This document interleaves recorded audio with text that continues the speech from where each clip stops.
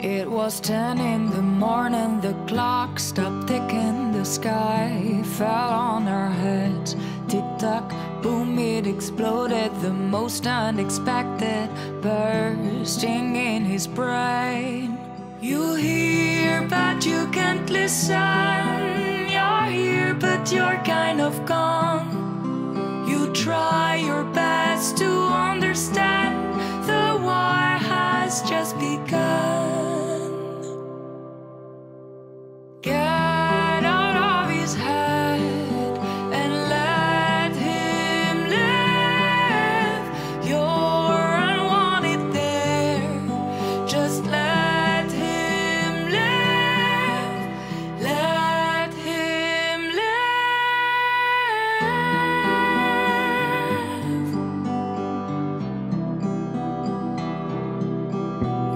Show them who's stronger and fight back it harder, and they won't come again.